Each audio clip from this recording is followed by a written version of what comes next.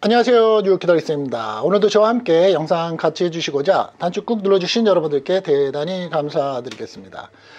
남녀 사이에 만나면 연인 관계도 싸우게 돼 있고요. 또 부부가 남남에서 만났기 때문에 더욱이 맞지 않는 성격차 가정의 문제 자식과의 문제 때문에 부부싸움도 굉장히 많이 하고 있습니다 최근에 와서는 3월달부터 우리가 현재 어려워지는 이 시국에 집에서 있는 남자, 집에서 있는 여자, 그리고 집에서 있는 자식들 때문에 이혼, 그리고 부부싸움이 굉장히 잦다고 합니다.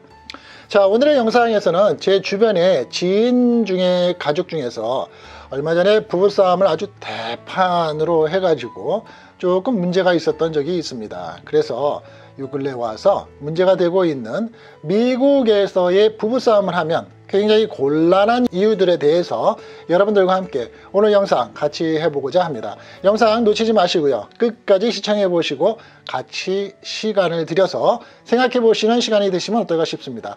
자, 미국에서 부부싸움을 하게 되면 안 되는 이유, 또 좋지 못한 이유, 그 중에 제일 먼저 무엇이 있을까요? 여러분들은 무슨 생각이 제일 먼저 생각이 드시나요? 네, 그렇습니다. 가장 먼저 생각이 되는 부분은 법입니다. 법. 자, 미국에서 법이 문제가 되는 게 무엇이 있을까요? 음, 제일 먼저 생각을 해본다면 남녀 간의 부부 사이에 생활을 하다가 이민 생활을 하기 위해서 열심히 계획을 잡고 나름대로는 초기에 와서 정책을 하는데 최선을 다하고 24시간 365일 열심히 일을 합니다. 마음이 애처롭기도 하고 따뜻한 마음을 더 주기도 하고 사랑을 더 주고 정을 더 주고 싶어서 초기에는 잘 싸우지 않죠. 서로가 힘든 부분을 알기 때문입니다. 하지만 어느 정도 3년, 5년, 10년 이렇게 지나가다 보면 서로의 이성과 미국 생활의 이민 생활의 과정과 또 힘든 부분이 서로가 있다 보니까 싸움이 잦아지게 됩니다. 교육 문제로도 싸우게 되겠죠. 그런데 이 법에 있어서 가장 문제가 되는 게 무엇일까요?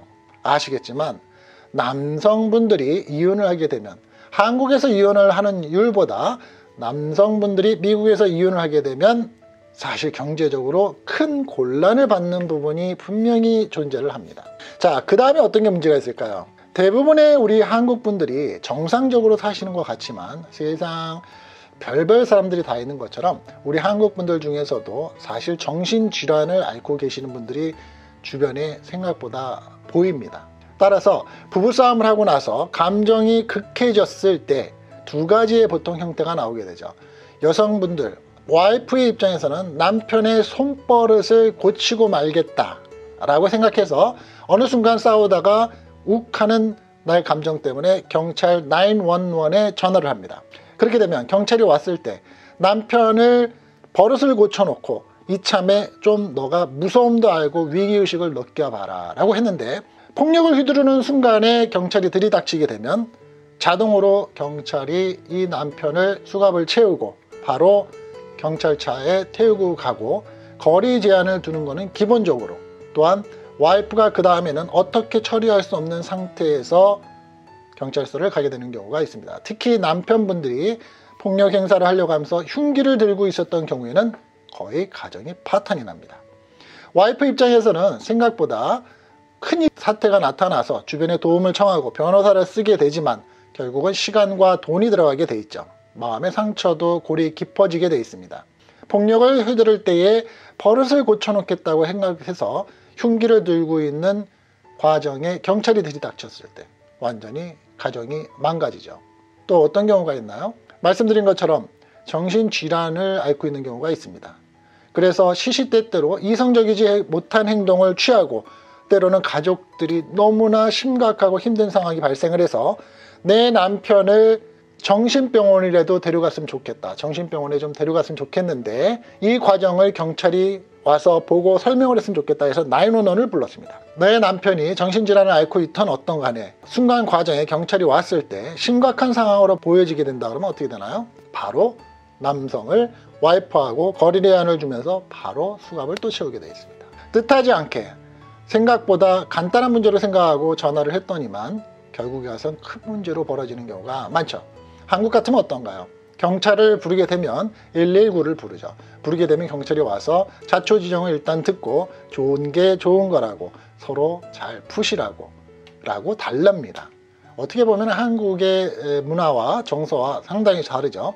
미국에서는 경찰을 부르면 순간 경찰분들이 와가지고 판단을 내리는데 조금이라도 위험하다 싶으면 정신질환이 그 사람이 있던 없던 간에 위험한 흉기를 들고 있는데 내려놔라 라고 얘기를 했을 때 영어를 못 알아듣는다든지 이성을 잃은 상태에서 그 명령을 안 따랐다든지 하게 되면 어떻게 되나요?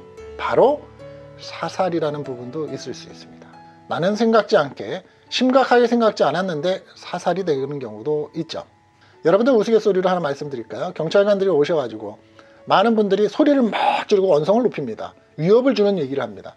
경찰관들 얘기가 왜 그런지 아십니까? 본인들도 때로는 겁이 나기 때문에 그런다고 합니다. 이 겁이 나기 때문에 그런 얘기를 하는데 본인들도 흉기를 들고 있는 별의별 사람들을 다 만나기 때문에 내가 경찰관이지만 내가 위험을 느낄 수 있기 때문에 소리를 강하게 지르면서 위협적인 말을 하기도 하면서 순간 사살을 하거나 발포를 하는 거죠. 그러한 경우가 비일비재하고 뜻하지 않은 경우가 나타날 수 있기 때문입니다.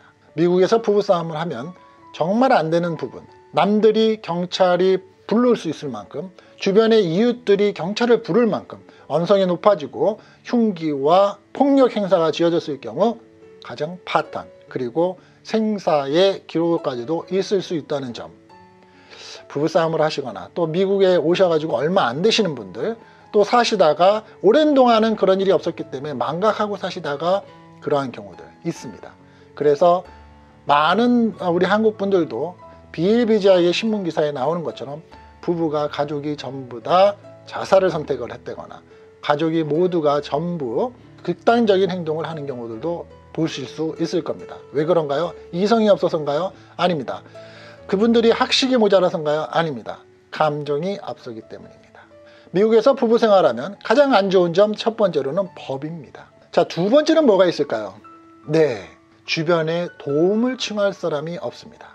한국 같은 경우는 부부싸움을 하게 되면 당장 바깥으로 나가서 친구한테 콜하고 아니면 나의 친정엄마한테 콜을 하고 아니면 내 동생한테 콜하고 내 친구한테 콜해서 저녁에 술 한잔 하면서 허심탄회하게 나의 감정과 나의 슬픈 심정을 얘기하고 불만스러운 거를 다 주절주절 떠들 수 있는 주변에 신우이가 있습니다. 그렇죠? 그런데 미국에서는 주변에 가족이 많으신가요? 내가 부부싸움을 하고도 편안하게 전화해서 만나서 바깥에서 편한 자리에서 내 서심탄회한 모든 것을 말해서 얘기할 수 있는 부부싸움 후에 후유증을 풀을 수 있는 그런 주변 분들이 있으신가요? 종교기관을 통해서 교인들, 천주교 또 불교 이런 부분들에 있어서 주변 분들의 교인들한테 종교인들한테 전화하셔가지고 나 부부싸움 했는데 이만이만해서 정말 속상해서 못 살겠습니까? 얘기하실 수 있나요? 못하시죠. 왜 못하나요? 소문 때문에 그렇습니다. 얘기를 하고 나면 아이고 그래 그래 그래 다 이해해 이해해 하고 말을 했는데 다음 주 한 달 후가 되면 우리 집에 부부싸움 했었던 모든 내용이 아주 디테일하게 소문이 다 나 있습니다. 그렇지 않습니까? 그래서 얘기를 할 데가 없습니다. 너무너무 부부싸움을 하고 난 다음에 처절하게 외로울 수도 있습니다. 미국에서 부부싸움을 하면 그것에 대한 감당 누가 해야 되나요? 오롯이 내 몫이 됩니다. 오롯이 내가 감당해야 될 나만의 몫이 되죠. 어떠신가요? 두 번째였습니다. 미국에서 부부싸움을 하면 안 되는 가장 큰 이유 두 번째였습니다. 자, 세 번째입니다. 자, 미국에서 사시게 되면 대도시에 한인마트가 있는 가정들도 있습니다. 하지만 많은 가정들이 미국에서 주류 사회의 미국인들이 살고 있는 지역들도 있으십니다. 그래서 때때로 일주일에 한 번, 때로는 한 달에 한 번 정도 거리가 멀신 분들은 한 두시간씩 한인마트 가셔야 되는 분들은 한 달에 한 번 정도나 두 번 정도 한인마트를 가십니다. 부부싸움을 하고 났는데 한식을 얻어먹기 힘듭니다. 미국에서는 부부와의 관계에 있어서 남편이 됐건 와이프가 됐건 편한 대로 음식 장만해서 먹습니다. 하지만 싸우고 나서 와이프로부터 남편으로부터 맛있는 갈비찜, 맛있는 LA 갈비, 맛있는 전이라도 한 잔 먹으면 좋겠는데 먹을 수가 없습니다. 우스갯소리죠. 네, 한식 얻어먹기가 어렵습니다. 자, 네 번째입니다. 갈 데가 없습니다. 정말 부부싸움하고 나서 갈 데가 없습니다. 한국 같으면 어디를 제일 많이 가나요? 부부싸움하고 나서 네, 찜질방을 제일 많이 갑니다. 찜질방을 가서 24시간 내내 식혜와 삶은 계란 먹고 요즘에는 치킨에 맥주까지 먹으면서 찜질방에서 24시간을 보내고 출근하고 그 다음날에도 찜질방을 갈 수가 있습니다. 그리고 정 안 되는 경우에는 친구 집에 빌 붙어서 잠을 잘 수도 있습니다. 또 친정에도 갈 수 있죠. 어, 내 아이의 본가에도 갈 수가 있습니다. 미국은 어떤가요? 싸우고 나서 갈 데가 없습니다. 조금이라도 화가 나서 같은 집에 있기 싫어서 차례도 몰고 운전하고 나서 쇼핑몰에 주차장에 가서 서 있거나 아니면 근처 빌딩 근처에 저녁에 가서 서 있으면 차에 앉아 있는 나를 보고 누군가가 크락션을 울리거나 사이렌 소리가 납니다. 거기서 뭐 하느냐라고 security guard라든지 아니면 police가 와서 차 빼라고 합니다. 그렇죠. 그 외에 어딜 가 있나요? park에 가서 park 주차장 밤에 가서 있을 수 있나요? 없습니다. 주차장 말고 다른 데에 가서 술 한잔 먹고 대리운전 부를 수 있나요? 없습니다. 그나마 할 수 있는 게 우버, 리프트 이런 차를 이용해서 술을 먹어야 됩니다. 그런데 술집이 몇 시까지 여나요? 24시간 문 여나요? 아닙니다. 그래서 때때로 불미스럽게 리콜스터 아래서 가서 술을 사가지고 차 안에서 먹고 한숨 자려고 앉아있다 보면 어떻게 되나요? 그것도 범죄가 됩니다. 주마다 틀리지만 차 안에서 앉아있다가 술을 먹고 술 깨고 운전하고 가야지 라고 생각하고 차 안에 키를 꼽아놓은 상태로 앉아있으면 어떻게 되나요? 음주운전으로 취급하라는 나라입니다. 자, 미국에서 살다가 부부싸움을 하게 되면 제일 서러운 부분 중에 하나가 무엇입니까? 갈 데가 없습니다. 자, 마지막입니다. 여러분들, 부부싸움을 하고 나서 미국에서 하고 나면 누가 손해인가요? 내가 손해입니다. 왜인가요? 내가 외로워지기 때문입니다. 내 스스로가 풀지 못하고 내 스스로가 누군가한테 가서 말을 하면서 터트리지 못하고 내 스스로가 어디 가서 춤 한 번 추고 노래 한 번 못 부르면서 풀지 못하는 감정을 어떻게 하나요? 차곡차곡 눌러놓습니다. 눌러놓으면서 어떻게 됩니까? 수년간 쌓이게 됩니다. 그 감정을 억누르고 참고 살아야지 참고 살아야지 하면서 쌓다 보면 결국은 나의 외로움과 나의 말수 그리고 나의 얼굴에는 그늘이 지게 되어 있습니다. 그렇죠. 결국은 어떻게 해야 되나요? 참아야 됩니까? 싸우지 말아야 됩니까? 여러분들 어떠십니까? 싸울 일이 있어야 싸우지 라고 말씀하시는 주변 분들도 계십니다.